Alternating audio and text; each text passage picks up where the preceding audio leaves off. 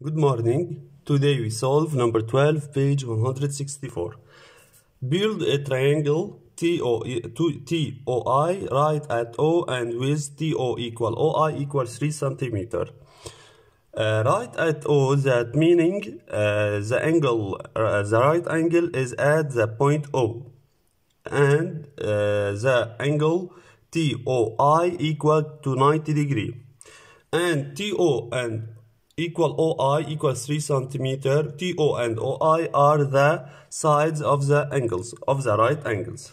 So we start with uh, drawing the side one of the two sides of the right angle by example OI equal to 3 centimeter this is the side OI equal of length 3 centimeter then using set square we draw the right angle or the other side of the right angle O T by drawing perpendicular side uh, to OI at the point O. This, perpendicular should be of length 3 centimeter. By this way,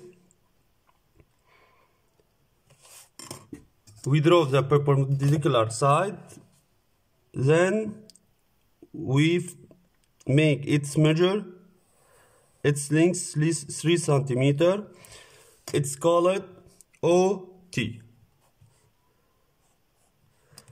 at least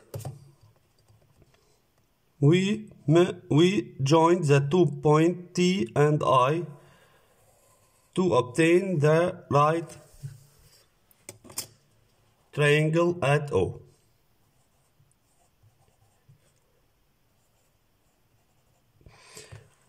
Then measure the angles OIT and DTI.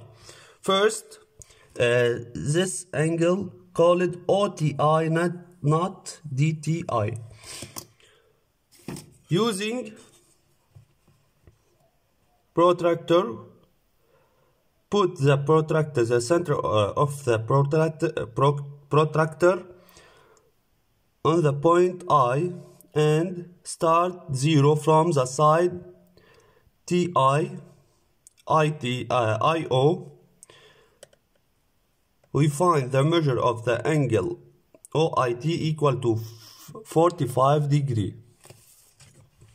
So OIT equal to 45 degree. Next angle OTI of center T of vertex T put the center of protractor on the uh, point T and start the zero from the, from the side TO we measure the angle we obtain. Its measure 45 degree.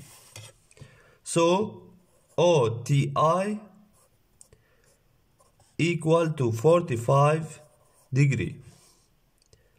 This angle 45 degree and this angle 45 degree note the triangle obtained is called right isosceles triangle. So this triangle is right isosceles triangle because he has it has right angle two equal sides and two equal angles of measure 45 degree